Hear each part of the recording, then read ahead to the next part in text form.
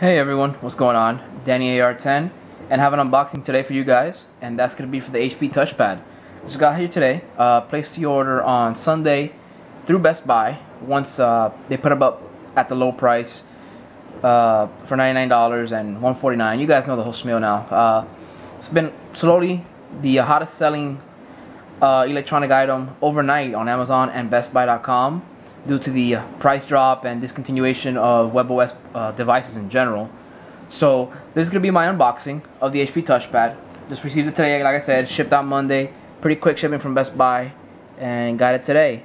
So I've, you know, been familiar with the uh, touchpad. My, like I said, my mother-in-law has one and I've played around with it. So having a good idea of, you know, what it comes with and whatnot. But a lot of you guys out there, you know, really don't know what it comes with and just, you know, really want to see it there's you know there's hundreds and probably even thousands of you know unboxing videos for the uh, touchpad.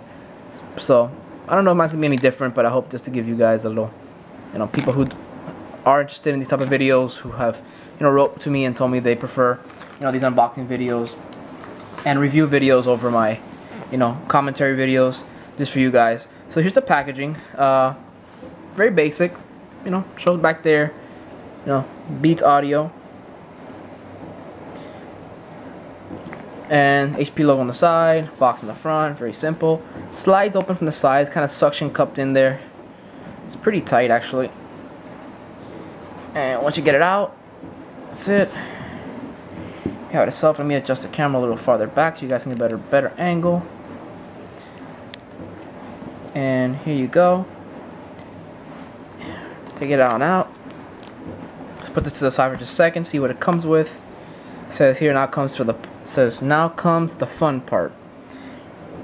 But uh, I think that's more of a sarcastic comment because all this really is is the uh, paperwork and instructions and whatnot, which I'm not even really get into.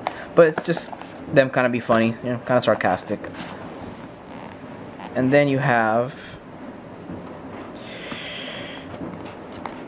power, basic power. You know what? Let's just open up like that on the side here. Put this aside you have a little charging brick, charging little cylinder. It's not actually a brick with a USB. There it is. Then you got your USB cable. It's actually a mini or actually micro USB.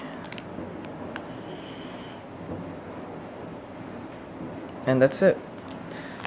All that comes in the packaging itself. I'm going to keep actually these items out because I haven't yet turned on the touchpad. I'll, I'll attempt to turn it on. Uh, I know it takes a little while to boot up, so it may, you know, take up part of the video, and I don't really want to do that because I have booted one of these up, and it does take us, you know, a little while for it to boot up. But uh, that was just to be my quick unboxing. I'll show you guys actually a quick little look at the actual touchpad itself.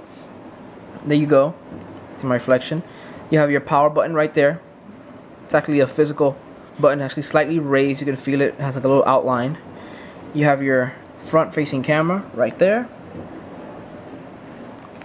You have your power button. Let's wait for the autofocus. And not getting it. There's your power button.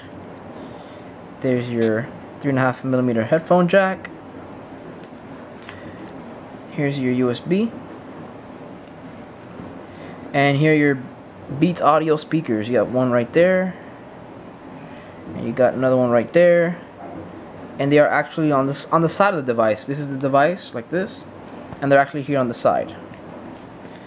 And that's about it. You got the volume rocker on this side. And you got your HP logo on the back.